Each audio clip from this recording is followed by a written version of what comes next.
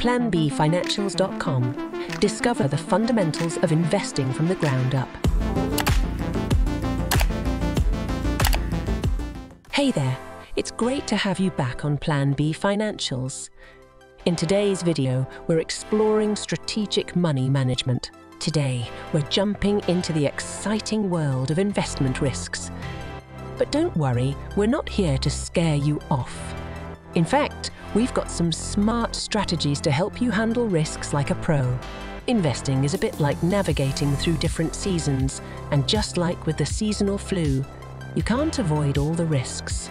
Our goal is to handle them smartly, like a detective managing surprises in a story that keeps unfolding over time. Let's break down the universal tool to achieve this risk management. Now, risk management isn't just for investments. It's like an amazing tool applicable in various fields like project management, business, healthcare, and construction. Think of it like being a smart detective, always one step ahead, figuring out, checking, and handling possible variables. So, how do we handle risks in investing? Let's explore different methods. At number one, you have a strategy known as risk absorption. Ever thought about absorbing risks like a sponge? Imagine risk absorption as an amazing approach where you knowingly embrace potential risks without actively avoiding them. You accept what's next to come. It's a bit like holding onto a diverse mix of investments, similar to gripping a pole during a hurricane, regardless of whether the market is on the rise or taking a dip. At number two, we have a concept called as risk transfer. Risk transfer is like passing on potential problems to someone else or using tools like insurance to protect your money. Imagine hiring a professional team with the likes of a fund manager or a financial advisor to handle tricky stuff while you focus on what you're good at. Number three, risk avoidance. Risk avoidance is all about steering clear of certain activities or investments perceived as high risk. It's like saying no thanks to ventures that could lead to crazy fiascos. A cautious approach focused on preserving capital. Risk mitigation if you want to minimize the impact of potential risks, try risk mitigation. It involves smart moves like spreading investments, using financial tools, and doing thorough research. It's like having a set of intentional, clever moves to counter potential risks. Strategy number five risk sharing. They say sharing is caring. In investing, risk sharing is where investors team up to spread and collectively handle risks.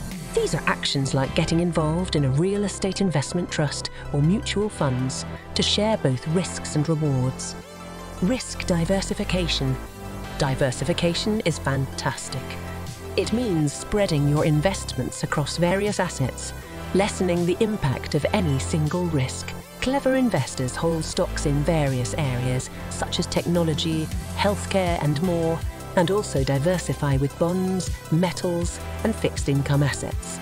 At number seven, the risk management strategy is as simple as active monitoring and management. Keeping an eye on things is crucial. Active monitoring involves consistently evaluating and tweaking investment plans based on market trends. It's like regularly checking your garden to ensure everything's growing well. Number eight, prudent research don't like surprises, neither do we. Prudent research involves staying informed and making educated decisions. It's like looking at a map before going on a road trip to avoid unexpected detours. Continual upskilling. The investment game is always changing.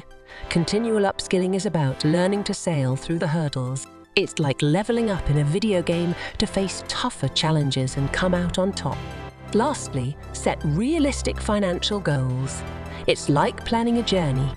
Know your destination, set practical goals, and secure profits once you achieve the results. Changing goals without a clear plan is like ending up somewhere you didn't intend. And that wraps it up. 10 strategies to ace investment risks. Keep in mind that there's no universal solution. It's all about finding what fits you best you can blend these strategies based on your comfort with risk and financial goals for a smoother investment journey. Thanks for tuning in. Until next time, happy investing.